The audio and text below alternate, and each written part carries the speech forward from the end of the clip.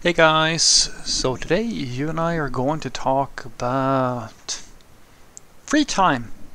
So let's get into it.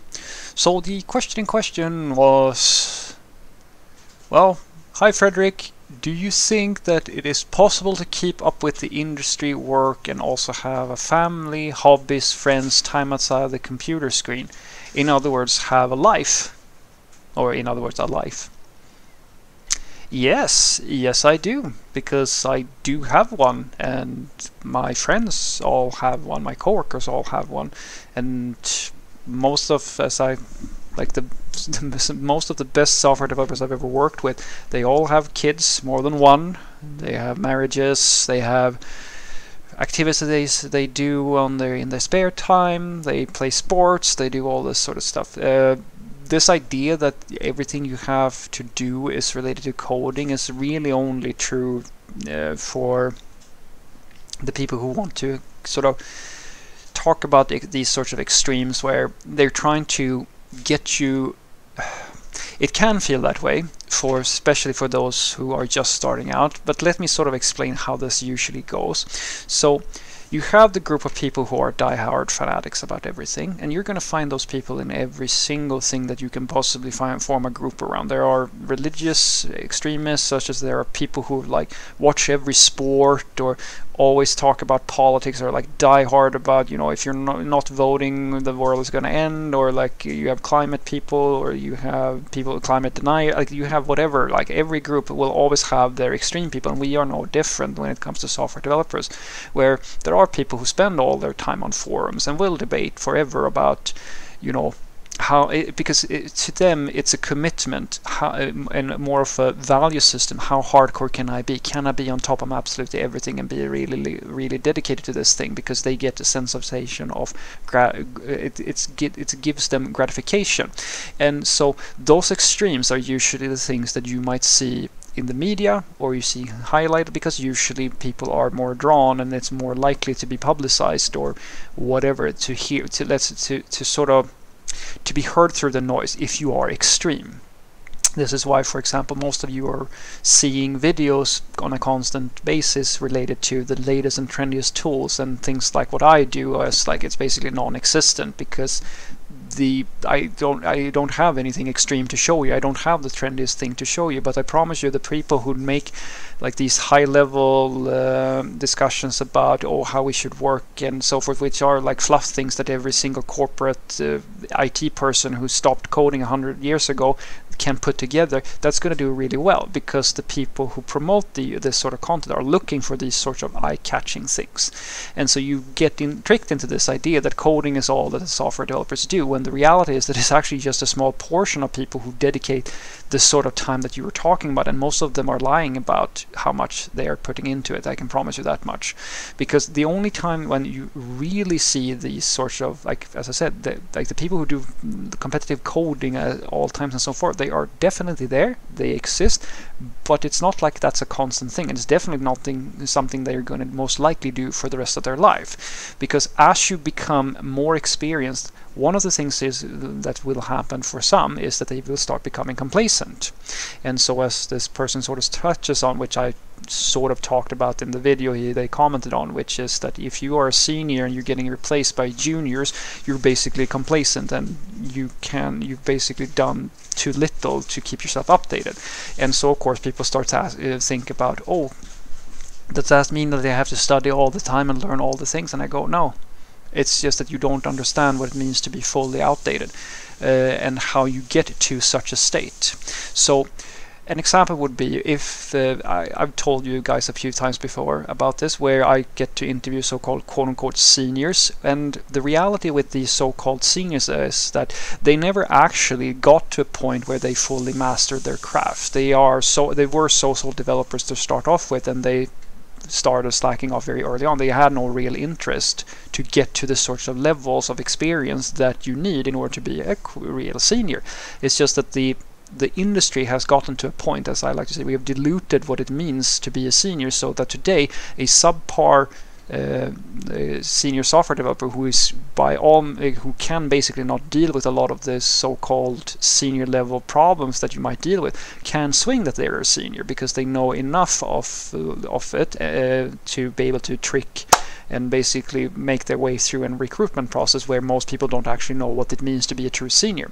But when you get to a level of experience where you really know your shit, which usually happens if you like because the the outdated part only happens when you don't really know what's going on and you don't keep yourself updated but if you have even the slightest level of mastery of what you're dealing with you will get to a point where the time it takes you to learn a new framework or a new tool or like read up on something, if you simply read a newsletter, even if it's once a month, you will see that after a while everything just seems to be a repetition of things you already sort of know because you've done this a million times before. So it doesn't matter if there's a million libraries. For juniors, it's usually different because you're sort of scrambling to figure out what is relevant. Everything seems relevant to you because it's all new, it's all interesting. You don't really know what it means to live the life of a software developer. But if you're at, say, my level, or if you're, uh, you know, or even higher up than that, it's not really something that you, you you might be looking. If you in the start of things, you read 10, 20 articles a week because everything is new to you. Like I might read one article, guys, a month. I scroll everything and I keep up with all the newsletters, but it's very rare that I find an article that is genuinely interesting to me to for me to read because I've reached a level where I can literally build most of the tools that you might be reading about, or I can all the techniques are either a repetition of something I already know, or in some cases it's actually that I might actually figured out a better way of doing things. So someone figured out the exact. I've seen many times, guys, where some uh, someone has posted a really nice Medium article, posting basically the same findings that I myself have figured out. And so you get to that point where the time you have to spend to keep yourself updated becomes almost nothing. And the only time you really get that outdated, as I said, is either if there's like a massive innovation about something, like I like to use, if you were, if you stopped keeping yourself updated or like even reading about what's up and like what, what uh, changed within say front end when jQuery stopped being a thing and the React and Angular and so forth came along, then yeah, you th that you have a problem. But it's very rare that those sorts of gigantic changes to people's workflow happen. And most software developers, as I said, when they really know their stuff, they can learn basically anything that they need to learn to keep themselves updated in their place of work. The only time that doesn't happen is, as I said, either if they work in a company that doesn't leverage any of those tools and they have no information flow whatsoever. They keep like they spend no time. And I'm not, as I said, I'm not talking about hours here. I'm talking a few minutes a week reading about articles, figuring out what the new tools are, and so forth, and actually reflecting on whether or not this is relevant or not. That happens to quite a lot of software developers, guys, but it doesn't have to happen to you. And I trust me when I say this. Some of the best software developers I've ever worked with, and they are top-notch developers. They're average people they might fiddle around with one project or try out some little tool a few hours a month at most or read an article here and there and they still perform at a higher level than most of the you know senior quote unquote software developers that I meet. And it doesn't matter if you have kids or not because the time investment when you're really good at what you do is so low uh, that it requires almost nothing. You can think about it as running a race. If you're a super fit athlete it's going to take you no time whatsoever to just do your daily jog like if you push it right? But for someone who's overly obese or haven't really done much it's going to be a lot tougher for you so what I want you to take away from this is that it is absolutely, I know for a fact that it is possible to have a full, full, live a full family life and have friends and all of these sort of things and still make it as a software developer.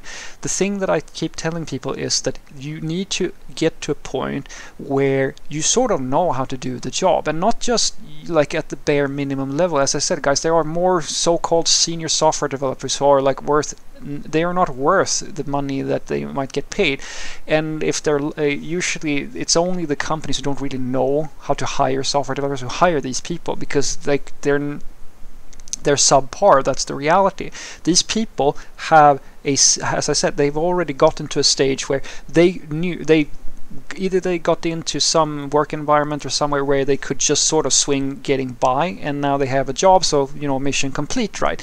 But they haven't reached a level of mastery where they can basically just relax. Not really if they want to be at the like the be applicable for most jobs but the people that are really talented and have at least a little passion in the beginning and actually take the time and like invest so that they get really good it's like learning how to ride a bicycle or like really working out a lot when you're a kid. It's something that stays for you the, for the rest of your life. And even if you get a little bit complacent, it's fine because the it's like it takes so little time for you to catch up to everybody else because you already know all your fundamentals you know how to structure things you have already gone through a lot of the practicing that's necessary and i promise you guys the whole thing everything is moving all the time is true but most of it is irrelevant to the vast majority of you. It's only because you might not know what is a good investment, what's a trend that you should ignore, what's a trend you should follow. Uh, that uncertainty that is the thing that usually makes people feel stressed like they have to learn things all the time. But when you get to as i said that real senior more experienced level you will be surprised at how little things actually change. There's a lot of noise but there is not that much changing that you have to stay, stay on top of. So there's more than enough time to have family, uh, you know, ma get married, get kids, uh, I can have hobbies and so forth and so forth, without necessarily compromising your ability to re retain a job within IT. Have a great day.